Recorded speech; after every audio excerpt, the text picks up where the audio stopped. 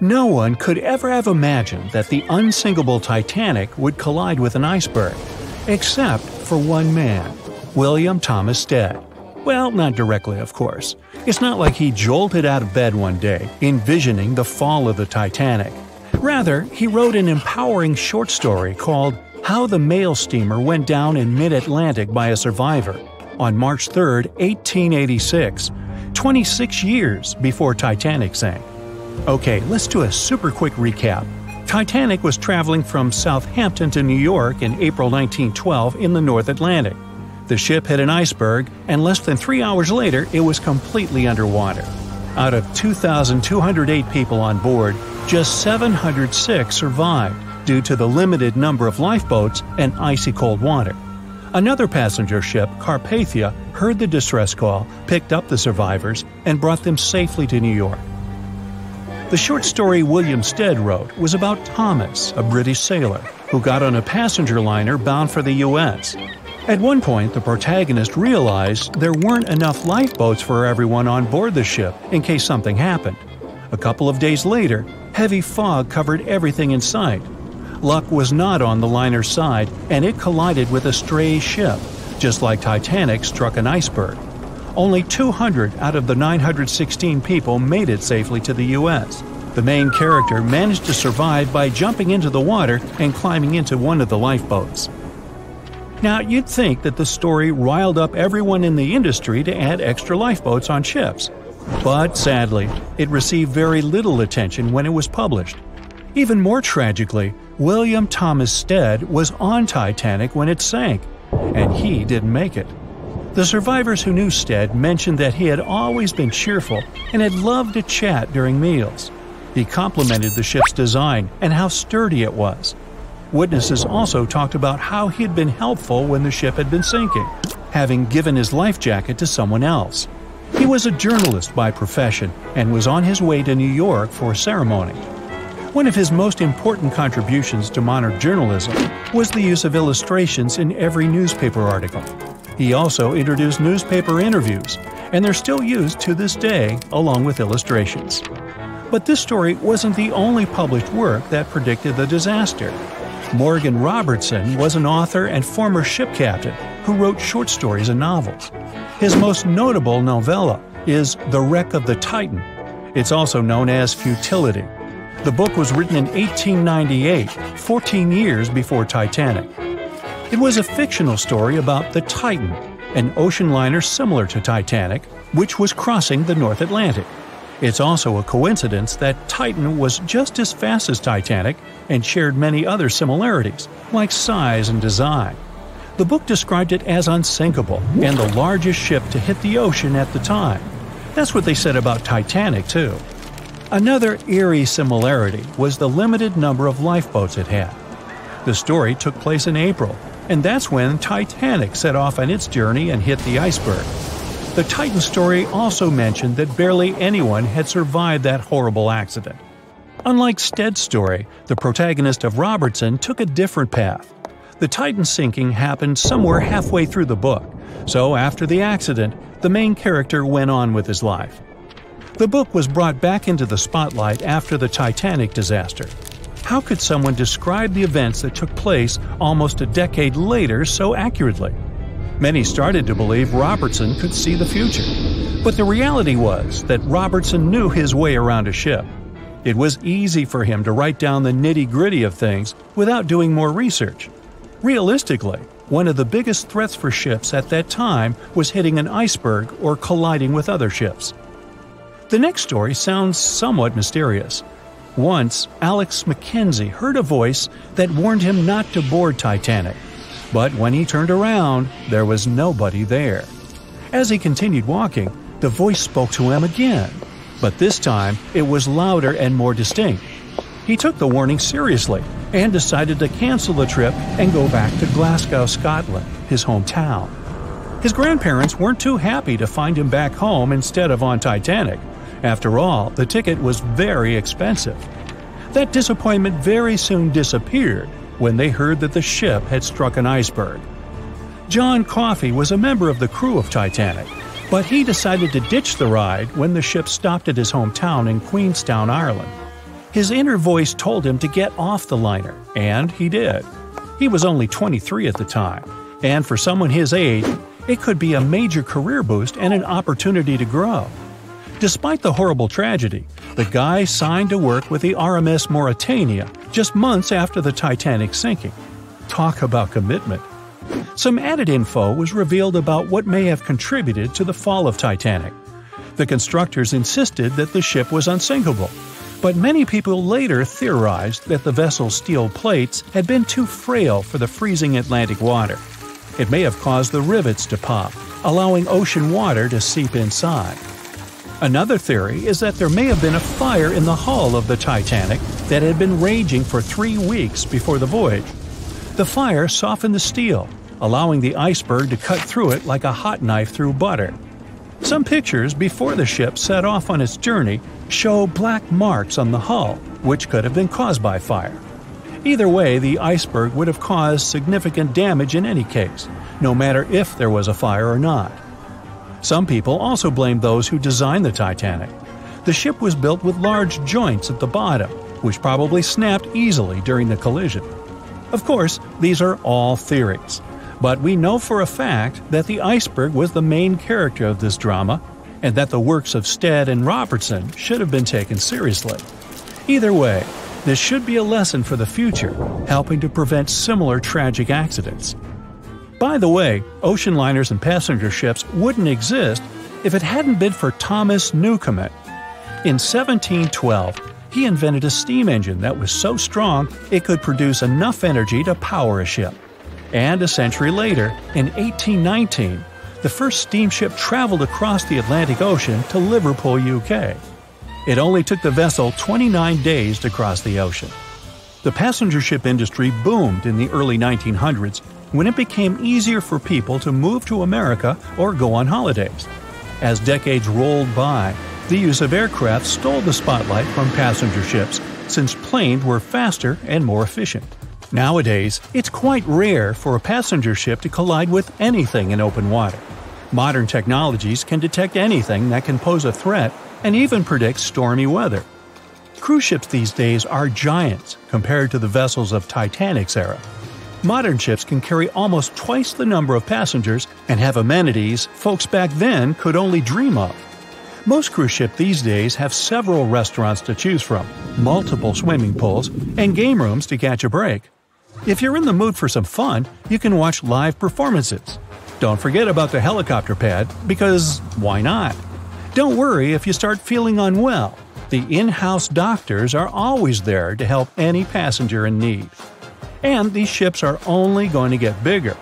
Putting Titanic and a modern cruise ship side by side is like comparing a corgi to a Doberman. Back then, Titanic was the biggest and most cutting edge vessel anyone could dream of. So, who knows what the future of cruise ships can hold? We might even have entire cities floating around. Mm, that would be a really big boat. It was 1949. In the world of science, Albert Einstein had already become famous. And what do all celebrities have? Well, fans, of course. An English engineer was brave enough to write to the great Albert Einstein himself. Unfortunately, historians didn't find the original letter, but they recently discovered Einstein's reply. It is short, one page only, but the content is fascinating. He wrote of animals that possess super senses, Sounds out of this world, but it actually isn't. More than 70 years ago, Einstein wrote down the following It is thinkable that the investigation of the behavior of migratory birds and carrier pigeons might someday lead to the understanding of some physical process that is not yet known. Back then, this was just a hunch. Biology and physics were just beginning to explain the behavior of animals. Take, for example, bats' echolocation an American professor of zoology, was the first to describe how bats navigate. In English, there is a phrase, as blind as a bat. And in some languages, the name for the species literally translates as blind mouse. This is because bats don't have sharp and colorful vision like humans do. Now, this doesn't mean they need to visit an optometrist. Bats can see pretty well in pitch black conditions, but they don't use eyesight to navigate bats use echolocation. To understand what it's like, tell me, have you ever been inside a cave and yelled out your name? Did you notice how the walls responded to you? This is an echo. The loud sound you made simply reflected off the hard surfaces around you. This happens in any space with solid walls, such as a canyon, a mountain range, or a well. Sounds can't bounce off soft surfaces. Yell your name in a room full of pillows, and you won't get a reply. Bats use this echo to get around. The animal produces a high frequency sound through its mouth or nose. Then they wait for the echo to come back, and voila! They have an accurate 3D image of the world around them. Bats' echolocation is so sophisticated that it can detect an object the width of a human hair. Now, that's impressive. Scientists estimate that 70% of bat species have the ability to echolocate, so bats are not blind after all. But we didn't know all this until the 1940s. That's when the American scientists coined the term echolocation. This was a major breakthrough in biology at the time. Einstein probably knew about it, so it served as a clue for him. Another hint was radar technology. You know how in airports they have that round screen with the tiny dots that represent airplanes' positions? Yes, that's a radar. And it works using the same principle bats use to orient themselves. The development of radar as we know it today began only in the 1930s. At the time he wrote the letter, Einstein couldn't have known how this technology would change the world. The radar approach for civilian aircraft appeared in 1952, three years before Albert Einstein passed away. But his letter also mentions bees. Einstein wrote that a new kind of sensory perception would be revealed through the behavior of bees. What did he mean by this? What is the extraordinary ability that bees have? Like bats, they're champions of navigation, but they don't use echolocation. Bees possess the ability to detect the Earth's magnetic field. It's generated in our planet's interior and it extends into space. You know that image of Earth with circular lines around it? That's it. The magnetic field shields us from the sun's dangerous radiation. Without it, there would be no life on our blue planet. And there's another perk to Earth's magnetic field navigation. Since the 12th century, Europeans have been using compasses to get around. That's how we discovered much of our planet. These devices contained a magnetized needle that rotates in the direction of the magnetic north. Even today, when you open Google Maps, you can still see the symbol of this needle. Click on it, and the map rotates north. But a bee doesn't have a smartphone or a compass, so how do they know which way is north? Researchers believe that these animals have tiny receptors inside their abdomens. They consist of iron granulates that act as mini compasses. Just imagine that. Bees are born with navigational devices inside their bodies. And all humans have to download a map on their phones. Bees also use the sun and light to navigate. They can travel up to 5 miles from the hive when looking for food, and they always find their way back. Bees are the ultimate flight planners. And they're not the only ones. Dogs are also excellent pathfinders. Take, for example, Pablo. He was a two year old hunting terrier. One day, Pablo went camping with his owners in the French Alps. During a stop, the canine went missing. At this point, a human would go to the nearest house to get help. But not Pablo. The lively mutt immediately started walking home. In just a couple of days, he returned to his owners. His home was more than 200 miles away to the south from the spot he got lost in. That's three days of nonstop walking for a human being. How did Pablo pull off this stunt? The same way bees do the Earth's magnetic field. Before such cases, scientists believed that dogs only use their sense of smell to navigate. Then, experiments showed that dogs don't retrace their steps, they use a different path to find their home. Since they obviously didn't use GPS, the only other possibility was the Earth's magnetic field.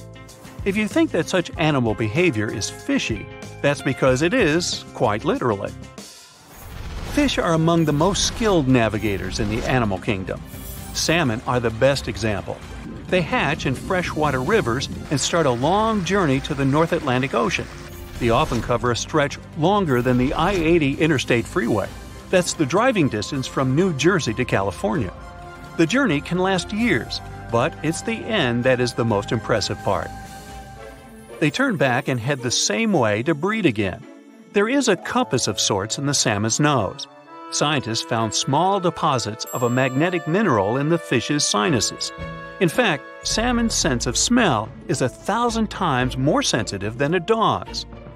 Finally, we have migratory birds Einstein mentioned in his letter. In Asia, there are geese that cover distances of over 3,000 miles during the migration season. Scientists agree that their sense of smell can't get them that far. Biologists have tried to explain birds' excellent navigation skills in various ways. Some believe they use the sun and moon to find their way. Others claim birds use landmarks to orient themselves. And then there is the explanation that involves the Earth's magnetic field. Researchers noticed a small spot on the beaks of pigeons. It contains a magnetic rock they believe helps the animals navigate. Bees, dogs, fish, and birds. Did you also spot a pattern emerging? That's because there is definitely a link between all these species when it comes to navigation. But after decades of research, science hasn't been able to fully understand how animals sense the Earth's magnetic field. The mystery lives on, and it only gets deeper. You've probably heard that cats can sense an earthquake. This happened in a cat cafe in Osaka in 2018. Just 10 seconds before the ground started to shake violently, the felines there seemed agitated, as if something had scared them. Did they feel the tremors deep underneath the surface of the Earth? One explanation is that they can sense the planet's magnetic field. This means they can feel minor tremors that humans cannot register until it's too late. At the end of his short letter, Einstein mentioned that further research was needed to explain this strange phenomenon. The famous German was a theoretical physicist. Biology wasn't his primary field of interest. And to explain how animals navigated, all sorts of scientists needed to get involved. Einstein didn't want to discuss something he wasn't an expert on. A huge meteorite enters our atmosphere, causing an explosion of catastrophic proportions. All forms of life on Earth cease to exist. A giant wave of fire wraps around the planet several times until only ash and dust remain of the green landscape. But then again, there's another option for our planet's future. The sun could swallow it. Wait, wait, wait, wait. Who is this? In the course of its evolution, our star will keep expanding. Am I the only one hearing this voice? until it gets so big that it just swallows our planet without even noticing it. Hey, buddy, that's my video. I don't think so. Okay, alright, I'll share it with you. But let's not look that far into the future. Whatever you say, buddy. How about the fact that the Earth will soon have rings? Like Saturn? Almost. Saturn's rings are made of dust and ice. Yeah, I've heard about that. Thousands of years ago, something really mysterious happened in Saturn's orbit. The planet's gravity tore one of its satellites apart. Yes, Saturn is a gas giant. It's 95 times heavier than Earth, so it has stronger gravity. It attracted a small moon from its orbit to its surface. Then, it was torn apart from the inside by tidal forces, like the ones between Earth and Moon. Many huge fragments stuck in Saturn's orbit. Some scientists say there was a collision of two moons there. They crashed into each other like billiard balls. As a result, both cosmic bodies turned into a pile of debris and blocks of ice. No matter how they got there, this debris started circling Saturn. They collided with each other, turning into smaller rocks. It was a kind of cosmic blender. Rocks gradually ground into dust, and huge blocks of ice turned into small crystals. On average, the objects are in the same ratio to these rings as a human fingernail to a school bus. And soon, similar rings will appear around Earth. But how? I mean, we have the moon, and it's hard to imagine that it could break apart at any moment. Plus, we don't have another moon to recreate the same collision in our orbit. Space junk. We have a lot of it. We started launching spacecraft into Earth's orbit in about 1957, and it almost always follows the same scenario. Ah, yes. The rocket consists of several parts a booster, or even several of them, the second stage of the rocket, and a cargo, which is contained in a capsule at the end of the rocket. The booster accelerates the rocket to almost orbit and then undocks. The second stage fires up the engines and climbs even higher to get the cargo into orbit. Then the second stage undocks as well, and the cargo capsule releases the satellite or space probe into outer space. Yes, the first and the second stages of the rocket and the cargo capsule were disposable. That means they stayed in Earth's orbit. Over time, our planet attracted them. They entered the atmosphere and burned up because of friction with the air. But many objects keep orbiting our planet for decades. As of 2021, there are about 170 million space debris objects in our orbit. These are parts of spacecraft, like the bolts used to undock rocket stages. There are also old artificial satellites, operating ones, functioning spacecraft, and debris from collisions that had already happened. Oh, I've heard about that. In 2009, two satellites collided with each other. Both satellites were destroyed. They shattered into about 600 pieces of different sizes. Yes, and these sharp metal fragments are flying in orbit at about 6 miles per second. So they could make a trip from New York to London in less than 10 minutes. Yeah, that's about the same speed at which our rockets fly. And that's about 45 times faster than commercial airplanes. So these fragments have a lot of energy. As they collide with each other, they shatter and become smaller. Just like the moon debris around Saturn. Exactly. But a bunch of metal debris orbiting faster than the speed of sound can damage our spacecraft, right? Yes, the International Space Station has already turned on its engines to maneuver once to avoid a collision with a cloud of space debris. Sharp metal parts can damage the hull of the space station or even puncture it. Then the ISS, worth about $150 billion, would be destroyed. So, if we keep throwing debris into orbit, we could really give our planet the rings. And then they will be visible even during the day. They will reflect sunlight, just like the moon and if you look out the window, you'll see beautiful stripes interrupted by the shadow that the Earth casts. It's an amazing view. Do you want to see an even more unusual one? Imagine that our Sun has increased in size by 10 times, and that process is happening right now. Our star is a giant boiler burning hydrogen. It's continually heating up, and every billion years, the Sun gets 10% brighter and creates more heat. It'll heat the Earth more, and eventually, the oceans and seas of our planet will begin to evaporate. Thick clouds will completely cover the sky, turning Earth into a giant greenhouse. Our home will look like Venus. Looks like humanity will no longer be able to live on Earth. What will we do then? Well, we'll load all the humans and animals into spaceships and move to Mars. At that point, the sun will have warmed it up nicely. Water and carbon dioxide deep in the planet's interior will begin to evaporate and create an atmosphere there. This will cause a greenhouse effect and warm up the planet enough for you to wear shorts there. And then we'll watch the Earth become a lifeless rock with acid clouds like Venus from the surface of Mars. Yep. But in about 7 billion years, the Sun will start to expand even more and become a red giant. In this phase, it'll become 256 times wider than it is now so it will completely swallow Mercury and Venus, and the edge of the star will lie just in the orbit of Earth. So our planet will just drown in the hot plasma on the sun's surface? Eh, maybe. But when a star burns so much fuel, it loses weight, and so the sun's gravitational field will weaken as well. So it won't keep the planets of the solar system as close to itself anymore. Perhaps our planet's orbit will become wider, and then Earth will become the first planet near the Sun. Some scientists believe that at this time, Saturn's moon Titan may gain conditions suitable to become a new home for humanity. Then the Sun will begin to shed its upper layers. It'll lose mass and gravity dramatically. This will plunge the solar system into chaos. Some planets will collide with each other, others may just fly away into the far dark space. It would be a game of cosmic billiards. Exactly. And the final stage of the Sun's life is a white dwarf. Then our star will become the size of Earth. The planets that survive won't get enough heat from the white dwarf, and its light will gradually fade over billions and trillions of years. Another challenge that awaits Earth in the distant future has a galactic scale. Ah, the collision of the Milky Way and Andromeda. Bingo! Right now, the Andromeda Galaxy is moving toward us at 60 miles per second. You could make a trip around the globe at that speed in just six minutes. Yeah, you can already see the stars and gas of Andromeda Galaxy in the night sky with an unaided eye at 2.5 million light years from Earth.